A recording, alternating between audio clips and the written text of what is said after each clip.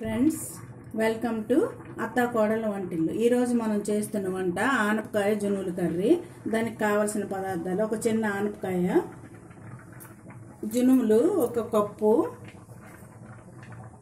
పోపు దినుసులు పసుపు కారం రెండు స్పూన్లు ఉప్పు టేస్ట్ తగినంత ఉల్లిపాయ ఒకటి ఇగోండి జునువులు ఇవి ఇలా ఉంటాయి కదా బాగుంటాయి టేస్ట్కి అన్నిటికీ జునువుల్లో చాలా విటమిన్స్ అన్నీ ఉన్నాయి. ఈ జునువుల్ని మనం నానబెట్టడం ఏది చేయక్కర్లేదు. జస్ట్ మూడు విజలతో ఉడకబెట్టేస్తే ఇలా తయారవుతాయి. ఉడకబెట్టినవి ఇగోటి. అలా ఉంటాయి. ఇప్పుడు మనం తయారు చేయ విధానం చూపిస్తాను. పొయ్యి వెలిగించుకొని ఆయిల్ వేసుకుందాం. ఒక త్రీ టీ స్పూన్ అయితే సరిపోతుంది. ఆయిల్ వేసుకొని పోపు దినుసులు వేసుకుందాం.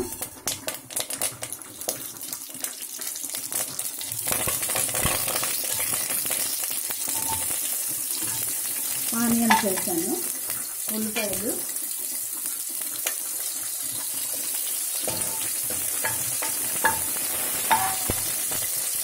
ఉల్లిపాయలు వేస్తున్నాయి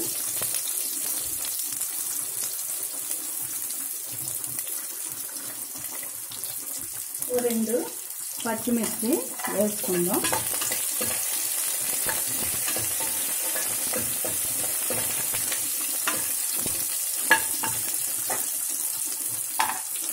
ఇప్పుడు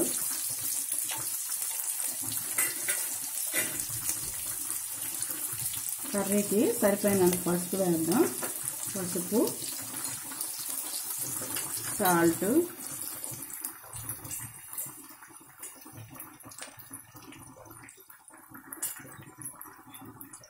ఇప్పుడు ఆనపకాయ ముక్కల్ని వేసుకుందాం.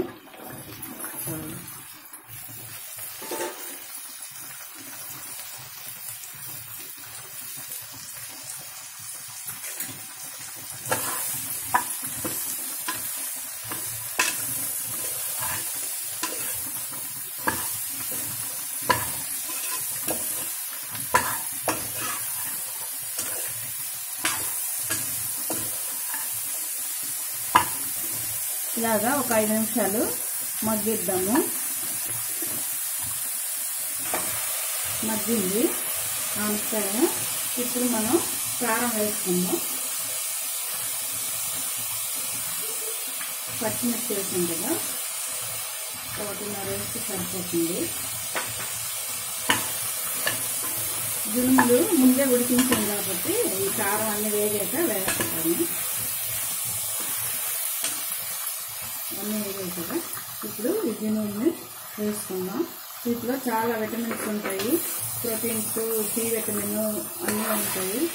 ఎక్కువగా బాగుంటుంది. ఆనపకాయలో కూడా వాటర్ ఎక్కువ ఉంటుంది. దాంట్లో ఏ విటమిన్ ఉంటుంది? అందువల్ల ఆనపకాయల గింజల్లో ఇలాంటి వాటిలో వేస్తే పిల్లలు ఇంట్రెస్ట్గా తింటారు. బాగుంటుంది. ఇలా దినులు వేసాం కదా. ఇప్పుడు ఒక గ్లాసు వాటర్ వేసుకొని ఉడికించుకుంటే సరిపోతుంది నేను ఆ జున్నుల్లో తీసిన వాటర్ వేసాను పక్కన నుంచాను ఉడకబెట్టేటప్పుడు. ఇలా వాటర్ వేసుకుంటే సరిపోతుంది. ఇది ఒక రెండు నిమిషాలు ఒక ఐదు నిమిషాలు ఉడికిద్దాము. ఒక ఐదు నిమిషాలు మూత పెడదాము. కర్రీ రెడీ అయిందో లేదో చూద్దాం. రెడీ అయింది. దగ్గరికి అయిపోయింది కదా ఇప్పుడు పొయ్యిని ఆఫ్ చేద్దాం. ఇప్పుడు డిష్ అవుట్ చేసుకుందాం. కర్రీ డిష్ అవుట్ చేశాను కదా మీదని కొంచెం కొత్తిమీర వేసుకుందాము. ఇది చాలా బాగుంటుంది మీరు వండి చూడండి. సబ్స్క్రైబ్ చేయండి లైక్ చేయండి షేర్ చేయండి. Okay thank you.